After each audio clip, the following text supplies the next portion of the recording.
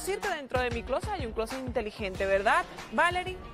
Eso Sí, depende. depende. ya. Claro. Me encantaría que evalúes, porque fíjense, hoy vamos a hablar de un tema, le estaba comentando a Valerie, que me encanta, porque a veces nosotros queremos vestir bien con poco presupuesto, porque para tener estilo no necesitamos invertir mucho dinero, pero sí saber qué nos sienta bien y cómo combinarlo, tener un closet inteligente, como siempre he dicho. Valerie Briseño es toda una experta en la materia, así que yo quiero aprovechar de invitarlas a ustedes en casa, chicas, de que tomen notas de todas estas recomendaciones que hoy mi querida Valerie, que además luce guapísima, está por darnos en el día de hoy. Buenos días, Valerie. Buenos días, alegría. Buenos días, alegría, tú. querida. Feliz inicio de semana para toda Venezuela. Y lo que tú has dicho es sumamente importante. Ajá. Para verse bien, para estar a la moda, no hay que gastar mucho dinero, pero sí hay que ser una consumidora de moda consciente y sobre todo muy inteligente. Eso sí es verdad. ¿Y eso cómo lo logramos? Utilizando herramientas que el día de hoy yo voy a compartir con ustedes.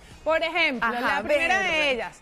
¿Cuándo fue la última vez que tú limpiaste tu closet, por ejemplo? Eh, hace como un mes. ¿Y, ¿Y cada cuánto tiempo tú lo haces?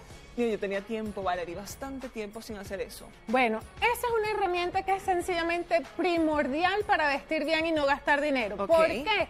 Sencillamente porque muchas mujeres tenemos la mala costumbre de ir acumulando ropa. De Ay, hecho, sí. estadísticamente, las mujeres solo utilizan el 20% de su closet. ¿Y a qué mujer no le ha pasado que tú te vas a comprar ropa y cuando regresas a tu casa te topas con que te compraste el Algo octavo similar. top de tiritas negro porque sencillamente tú no tienes conocimiento de lo que tú tienes. Así es. Entonces, una primera herramienta o que podemos hacer es limpiar y organizar nuestro closet esporádicamente para saber no solo qué tenemos, sino también qué nos sobra y sobre todo qué nos falta. ¿Qué tan esporádicamente? Eso va a depender de dónde vives tú, por ejemplo, porque si tienes vives en un país con estacionalidad, lo puedes hacer cuando cambias de estación. Depende también de tu estilo de vida. Por ejemplo, tú que eres una persona que tiene muchísimos compromisos sociales, que trabajas en, en medios de comunicación, tú necesitas una rotación de ropa con mucha más frecuencia que una persona que vive en su casa, por ejemplo. Complicado eso, Valerie, complicado. Mira, y sabes que acotando algo a todo esto tan valioso que hoy nos compartes, nosotros también tenemos la idea de que lo económico influye en nuestra forma de vestir y esa creencia nos aleja, nos aleja de tener ese closet de nuestros sueños, como bien lo decías. ¿Cómo se puede hacer un buen outfit sin gastar tanto dinero? Bueno, sencillamente, en primer lugar hay que saber en qué piezas yo puedo o debo invertir dinero y en qué piezas no vale la pena gastar dinero. ¿En qué vale la, pieza- la pena invertir tu dinero? En piezas que sean básicas para ti. Por ejemplo, si eres una persona que trabaja en una oficina, es importante que invierta en un buen traje. Claro. ¿En qué no vale la pena invertir? En piezas de tendencia, que tú sabes que solamente van a estar de moda por la temporada. estampados. Exactamente. Y que en la próxima temporada ya no se van a usar. En eso de verdad yo no recomiendo para nada invertir dinero. Por ejemplo, también es muy importante saber cómo aprovechar las temporadas de rebaja. Yo por lo general recomiendo cuando vienen las, re- las rebajas de verano, comprar ropa de invierno. Y cuando vienen las rebajas de invierno, comprar la ropa de verano. Y tú puedes pensar, por tu cara lo piensas, que ¿cómo, es eso? así, Valerie Briseño? Cuando vienen las, las rebajas de la temporada de verano, la ropa de invierno está muchísimo más económica. Tú solamente tienes que revisar en todo lo que es el inventario de las tiendas y vas a ver que los precios de lo que es la ropa contra- de la época contraria lo ponen muchísimo más económico. Entonces uno siempre tiene que ir al contrario. Ok. Otra manera, y que esto es algo que yo he comentado en muchísimos programas aquí, es utilizar los accesorios y el color.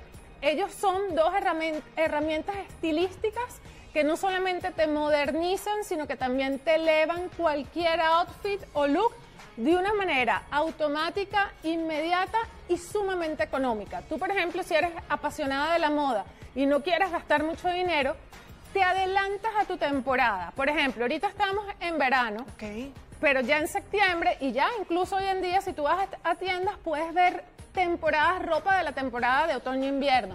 Bueno, si a mí me gusta estar a la moda, quiero usar algo de tendencia, pero sin usar mucho dinero, ¿qué puedo hacer? Cuáles son los colores que van a venir de moda. Ok. El marrón, el vino tinto, los colores tierra, Naranjas. incluso colores pasteles y se va a seguir utilizando el animal print. Ok. Antes de salir a comprar eso, ¿qué hago yo? Me voy a mi closet y yo reviso qué tengo yo en esos colores que van a estar de moda. Compras porque inteligentes, claro. seguramente casi todas las tendencias que vienen de moda hoy en día, nosotras las tenemos ya en el closet. Lo que pasa es que obviamente las redes sociales y los medios de comunicación nos tratan de vender lo que todavía nosotras no hemos visto, pero pensamos que necesitamos.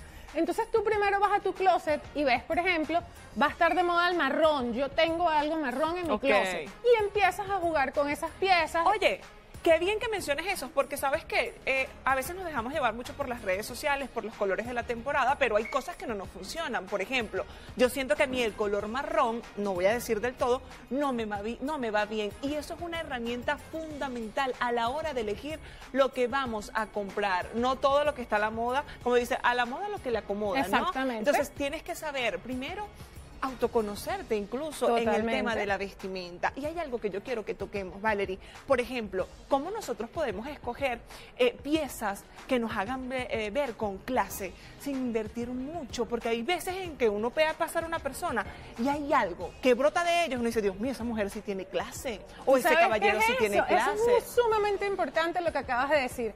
Eso es tener estilo personal y eso también es fundamental. Definir, conocer y cultivar tu estilo personal. Bien. Si yo, por ejemplo, te nombro María Félix, Carolina Herrera, son mujeres que nos vienen a la mente como mujeres con un estilo personal sumamente elegante.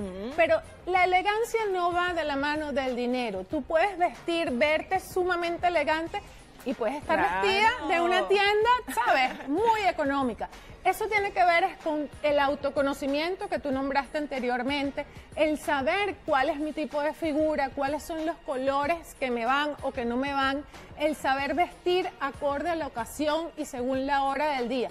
Es todo un proceso, no es algo que se hace de la noche a la mañana, pero que es lo que todas las mujeres deberíamos pretender poder llegar a tener, nuestro estilo personal. E incluso, Valerie, yo creo, aunque no seamos expertos, uno toca la tela y uno sabe qué tela es, ¿sabe? Ay, esta tela se ve chévere, esta, vamos a decirlo coloquialmente, esta tela aguanta, ¿no? Exacto. ¿Verdad? Entonces eso también es fundamental, al igual que saber vestir, eh, vestir para la ocasión. Eso es fundamental. Eso también forma parte de la elegancia, de bien, Totalmente. de Otra recomendación seguridad. que no quiero que nos vayamos sin Sí, decir porque ya se nos acabó el tiempo, es ¿no? comprar ropa de segunda mano. Esa es una opción maravillosa para Ajá. estar a la moda, comprar verdaderas joyas y no gastar demasiado.